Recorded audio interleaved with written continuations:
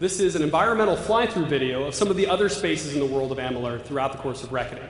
Now, this is by no means all our environments, it's really only a tiny portion of them, but hopefully it'll give you a sense of the breadth and scale and variety that you'll find in the world. It's important for you to know that this is not cinematic. This is all, well, it's cinematic in the sense that it's video, but it's all captured directly from the game in our most recent build. These are all places you can visit, explore, quest, and kill things in the world of Reckoning.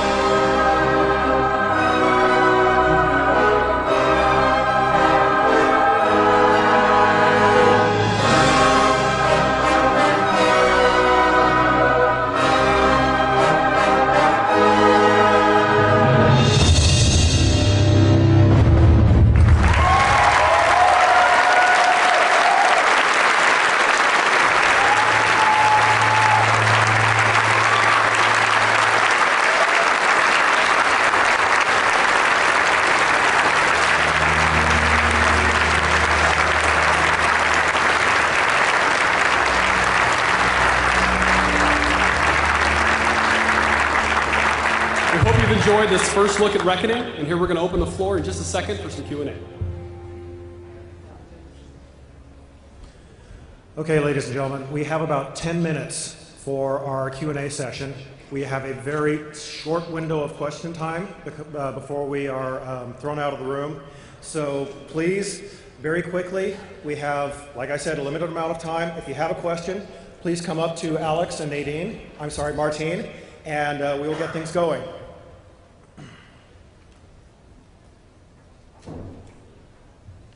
Hey, I'm Brad, and I have a very quick and specific question. Uh, I have a bit of an aqua fetish. Is there swimming or underwater swimming in this game at all? Hmm, maybe. There we go. Uh, yeah, I can answer that. Swimming, yes. Underwater swimming, no. Although we do have dive points where you can go down and find loot. Thank you.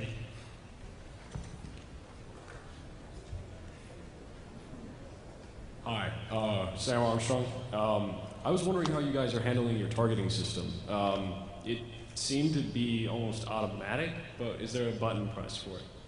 No, it's a soft lock system. You basically stick in the direction you want to fight, and if you're not sticking, it uses spacing, but it keeps your target for you. Thank you. Hi, uh, Tim Brown. Okay. Uh, is there a difficulty slider? Uh, yeah, it's not an actual like slider with lots of Yeah. granularity. It's modes, but yeah. Okay, cool. Uh, Greg Karen, um, of the major uh, classes, how many individual destinies or the ranges um, by the end of the game uh, do you expect?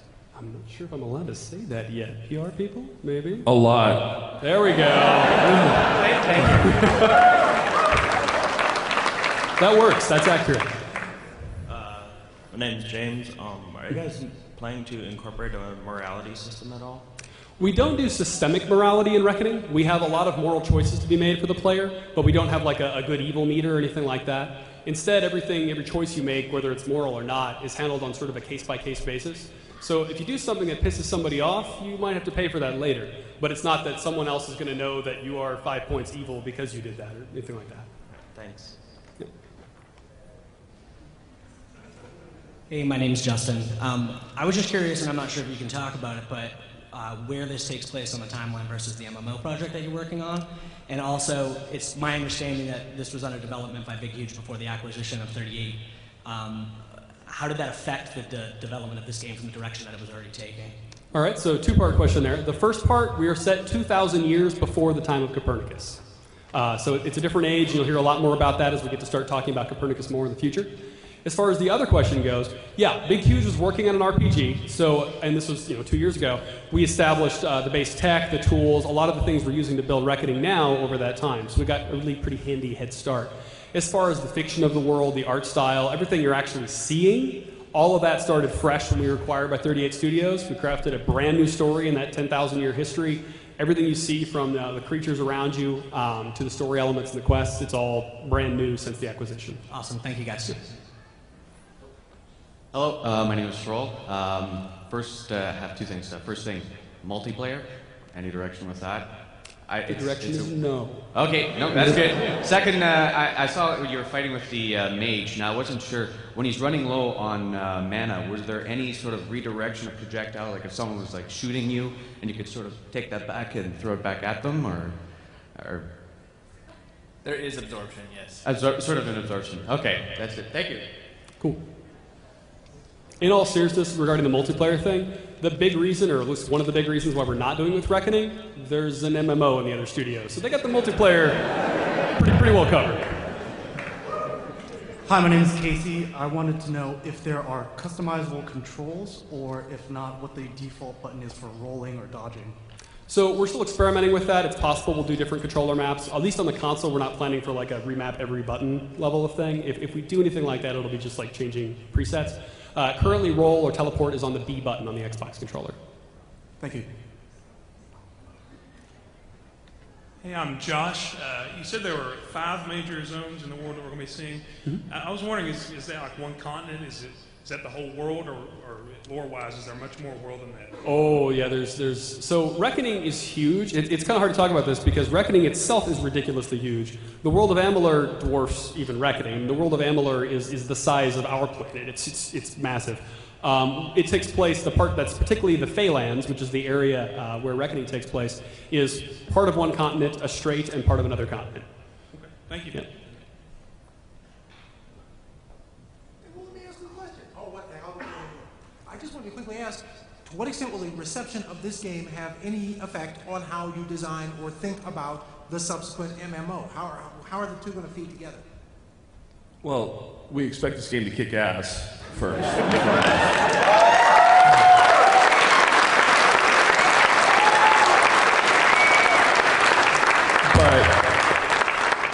but we, we, we want to be the best in the world at what we do. So you set the bar high, and, and that's the bar forever. And I'm very confident in what I've seen and, and what I've watched from this team that the bar is, is unprecedented for us.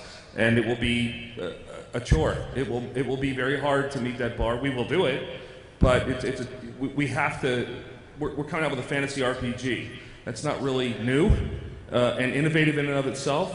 So we have to separate ourselves from the rest of the world, and we do that. I think we've done that through the gameplay experience, the lore, the story.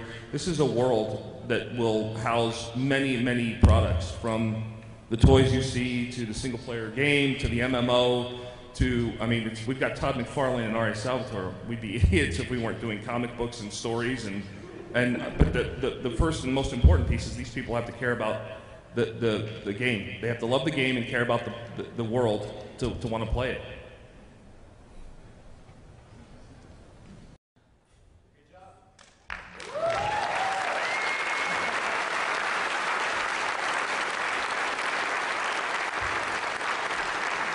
Once again, everybody, thank you.